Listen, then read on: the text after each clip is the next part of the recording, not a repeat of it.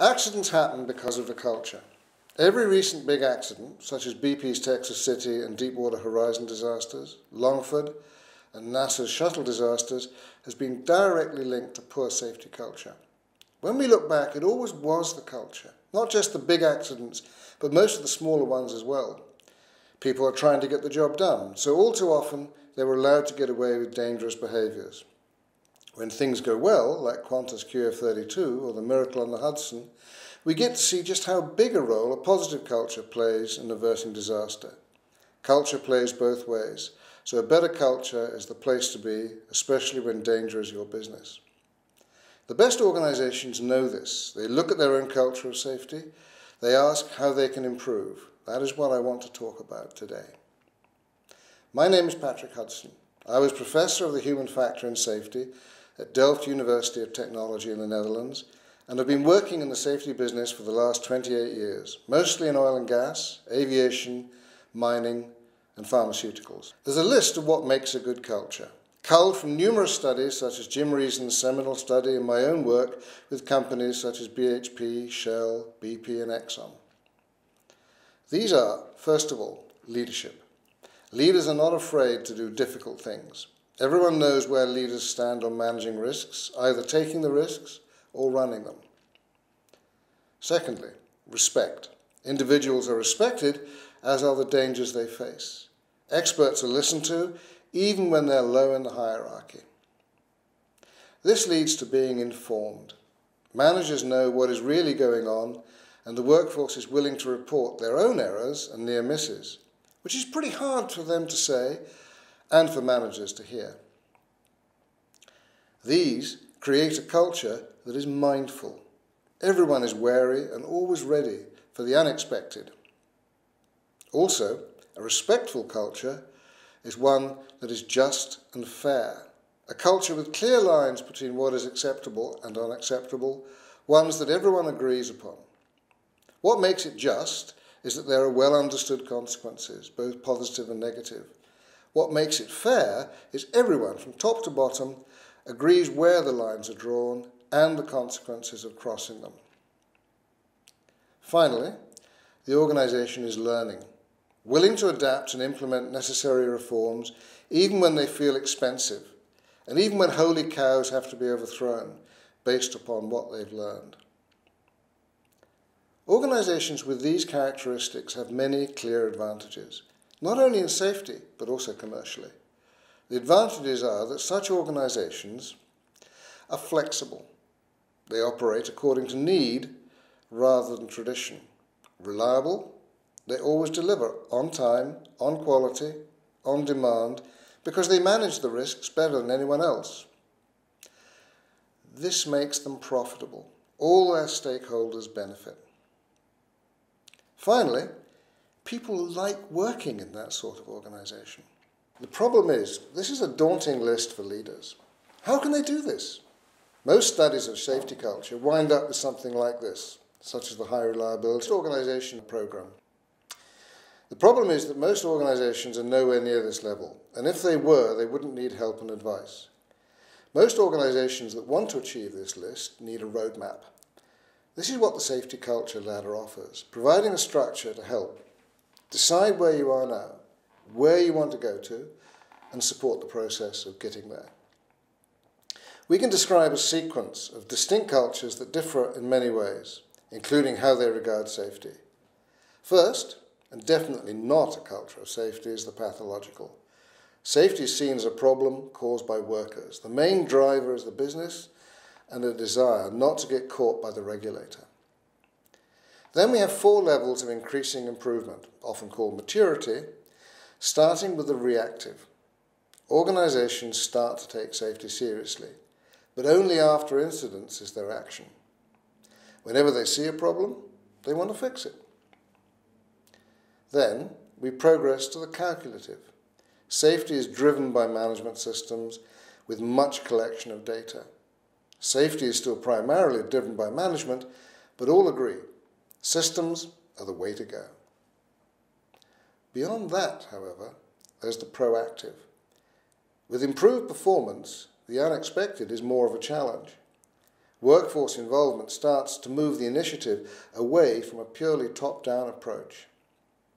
And finally, generative. There is active participation at all levels. Safety is part of the business, and organizations are characterized by chronic unease. We're doing so well. What are we missing? I've learnt that this ladder is very attractive to those who want to do their best. But it turns out to be more difficult to improve than most people imagine, which I have to admit can be frustrating, especially when the organization's leaders want to get to the top and quickly. An admirable attitude, but one that needs to be tempered lest it be doomed to failure. The good news is that knowing how to proceed can help to speed things up quite a lot. The first lesson people need to learn is that fine speeches and motivational speakers don't really help. The feel good factor they create usually has a very short half life and dissipates maybe by the next morning. Furthermore, they create unrealistic expectations, possibly making things worse rather than better. The good news, however, is that, that the motivation is already there. In my experience of asking many companies in different industries, ranging from oil and gas and mining to pharmaceuticals to aircraft engineering, is that people can recognize where they are on the ladder and always want to be higher. From top to bottom, in all such organizations, there's a built in desire to be better. The problem is day to day reality. They have good values and impeccable attitudes when surveyed, but their behaviors are what let them down. As one of the common, simple definition of culture is how we do things around here. This is where aspiration meets reality, where the rubber meets the road. What I have found does work is discovering what they could do or change, i.e., their activities, processes, or systems, which would first be characteristic of more advanced safety cultures, secondly, be fairly easily be made to be how things are done, and by using standard management skills for ensuring change takes place. When people say, we could certainly do that. Then we can use standard management approaches with deliverables and accountabilities that nevertheless impact on the culture.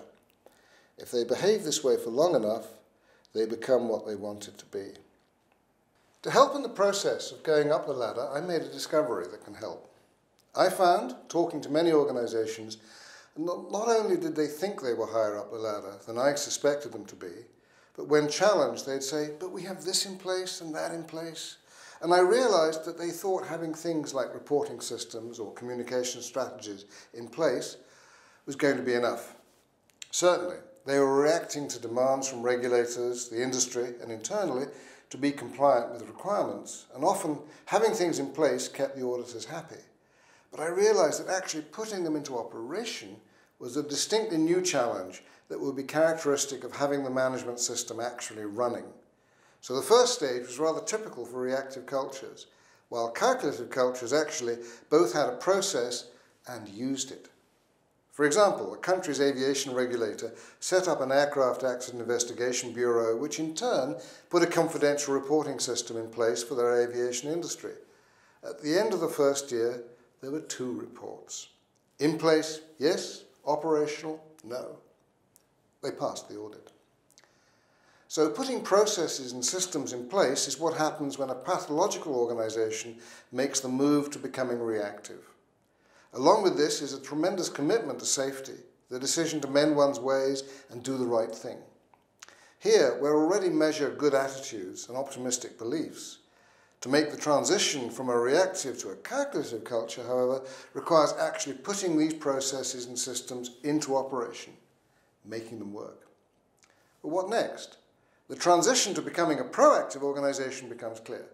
It involves making the processes and systems that are now in operation truly effective, because often they're not, or they no longer have the impact that was expected when they were put in place.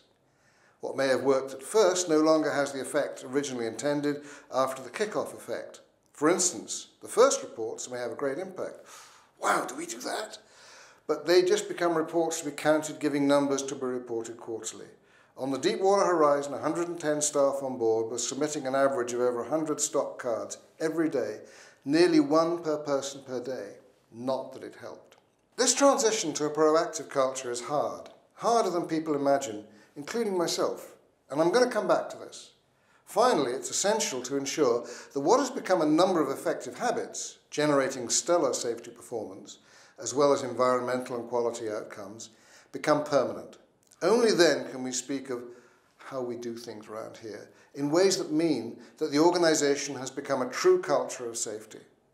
This is when the best habits are ingrained, so operations are more than safety first. Safety is no longer a priority, but a true value, meaning far more than just an answer in a survey.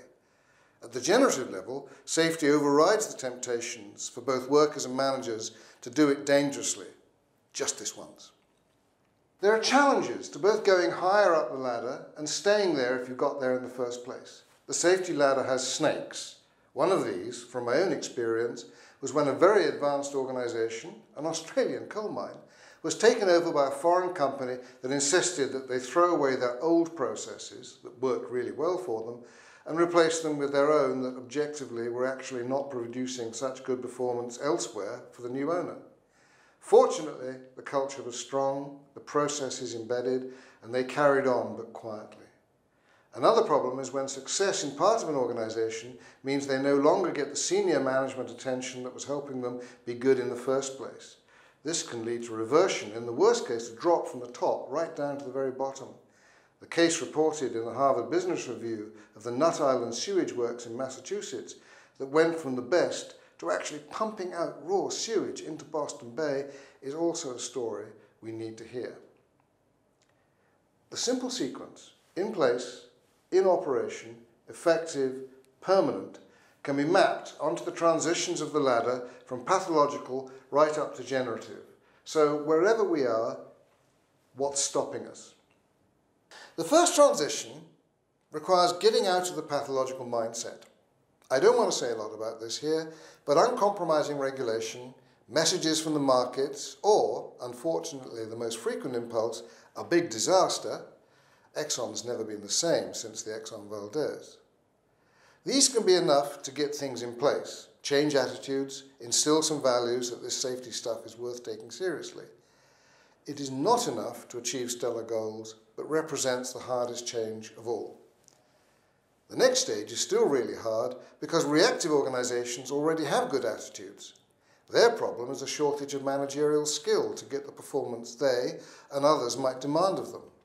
The fight is between how things get done and the systems that are in place but may not be used. This means that the major driver has to come from management, right from the top. Management has to concentrate on ensuring that everyone, and this includes top management themselves, gets into the habit of doing things the way they say they should. They have to have the discipline to keep on using processes and systems until they become the norm. That's another word for culture. Self-discipline has to be applied by senior managers to ensure that everyone else becomes disciplined as well. This is hard. The temptations to backslide, just this once, are many, but disastrous for progress in the right direction.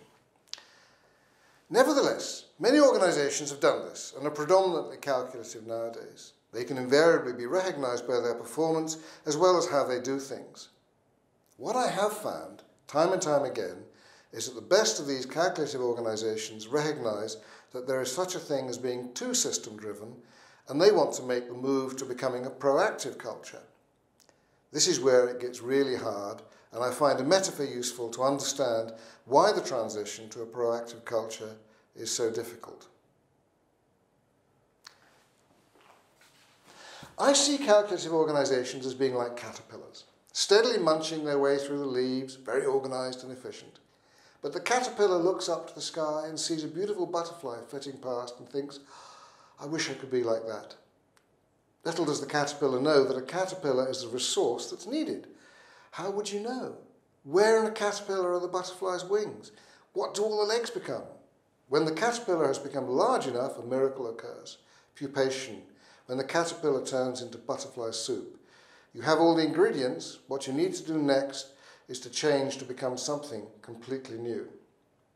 The lesson for organizations is that to make their safety systems effective, everything has to be challenged and re-examined. What was good enough for a reactive culture and appeared to operate for a calculative one is no longer good enough. What worked to get you there is no longer enough to take you further. For instance, the knowledge accumulated by a calculative culture, aggregated at the corporate centre, has to be pushed back out to be used by managers and workers, not just hoarded. Those individuals require a radically different sort of training and the expansion of roles and responsibilities in a proactive organisation. Top management can feel comfortable in having got their safety management systems to work. Now they'll have to make themselves deliberately uncomfortable, learning to resist the cry that it was working fine, don't change it.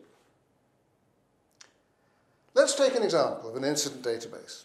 This is crucial for creating an informed culture. is the repository of the reports from a reporting culture and provides the data for a learning organisation.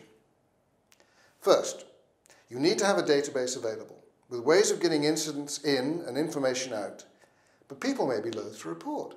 Investigations may be summary to the point of useless, except for counting purposes. Still, it's in place. Next, you need to operate the database by ensuring that people actually put incidents and reported hazards into the database.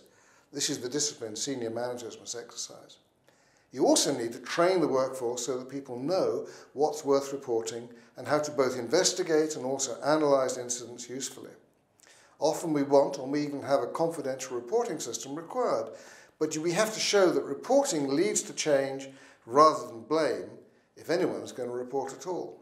The database and associated processes may, nevertheless, only serve superficial requirements. To be truly effective, the data inside has to be turned into information. Especially, it must have the opportunity to surprise us. I didn't know we were working like that. And properly inform our decision-making processes. Where do we spend our resources? Not just justifying decisions after the event. Finally, the system has to become standard. No alternative is envisaged. This may all sound unnecessarily complicated, but consider that the financial culture has usually got all these facets long in place, in operation and effective for financial information which is more than just the raw finance data. Consider what happens to your expenses claim. Does a change of manager change that system? Maybe a good safety system should learn from the success of the financial systems within organizations. So, what's hard about becoming generative then? Wasn't the hard bit just becoming proactive? In the generative culture, all these elements come to fruition.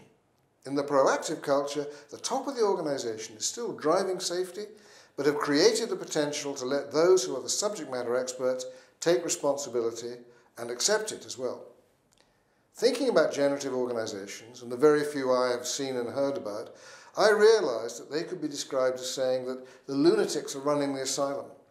Top management stood back, and it looked as if they had nothing to do as far as safety was concerned, or indeed in production either.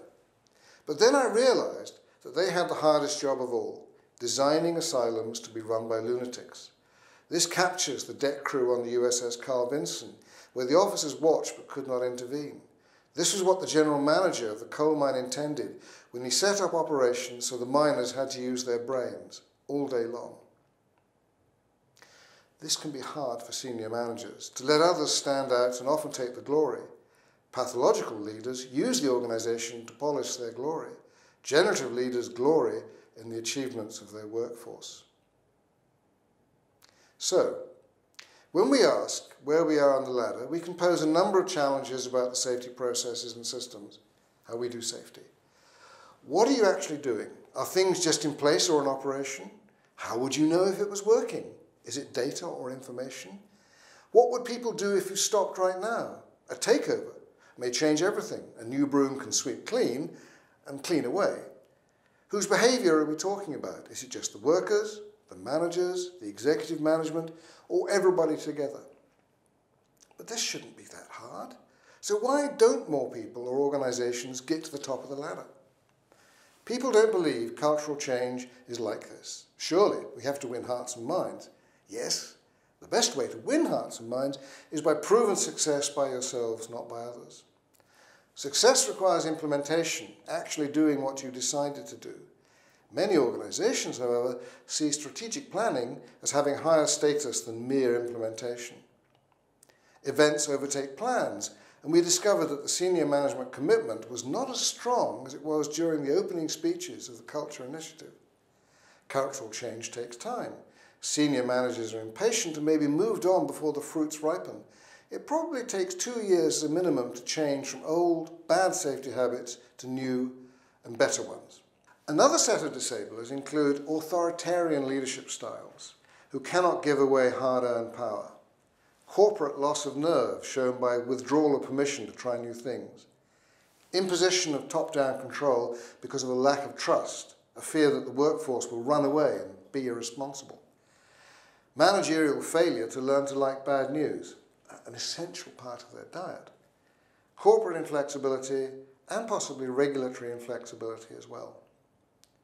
The benefits are clear because the kind of organisation that makes it to the proactive level runs better. The people who work enjoy it more, staff turnover is less. Another advantage of the advanced culture is a consequence of increased trust. You do your job and I'll do mine. That results in reduced supervisory costs and increased flexibility in operation. Finally, having fewer incidents helps keeps costs down as well, but advanced cultures do spend more to glean the maximum information from the few incidents they have. The most important ingredient in moving up the ladder is the commitment and actions of leadership, primarily senior leaders, but also those safety leaders throughout the organisation who together develop the trust that things will be done properly, both top down and bottom up. In my next talk, I'll cover leadership, safety leadership in particular, and how leadership and culture are intimately intertwined. In conclusion, it's possible to climb the ladder, but it's hard, and probably harder than people expect when they start. The good news is that I've never found anyone who wanted to go down the ladder, but lots of people at all levels who wanted to go up. Finally, if you do make it up there, everyone benefits. Commercially, environmentally, socially, and you all get to go home in one piece every time.